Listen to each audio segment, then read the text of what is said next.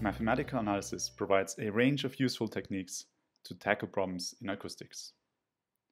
Together with leading experts in this field, our special interest group has identified the following key research areas which we believe are of utmost importance in the developments of the coming decade.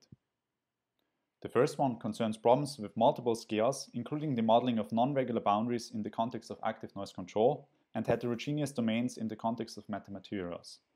This topic also includes the construction and analysis of hybrid numerical asymptotic methods in the context of high-frequency wave scattering.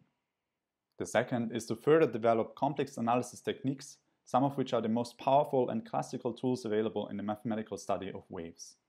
This research area covers a wide range of exciting problems, from the correct modeling of radiation conditions over unified transform methods to complex variable techniques for high-dimensional scattering problems. Many important questions about the fundamental physics of flows remain unanswered. These include questions about conservation laws, jet noise, and wave suppression in high-dimensional domains. Mathematics can provide crucial tools to advance our understanding of the underlying physics. At the same time, companies seek to apply mathematical tools to solve some of their most pressing challenges. These include questions that affect our daily lives, such as the noise suppression on trains or aircraft, or non-invasive techniques for medical imaging. Of ever-rising importance is also the study of metamaterials, which promise new and unexpected ways in which waves can be controlled.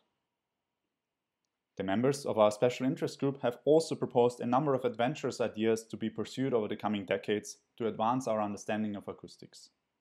These include the use of homogenization to actively reduce noise emissions in wind farms, the development of a stronger link between pure and applied science in the context of acoustics, the reduction of urban noise, and the study and development of quiet surfaces.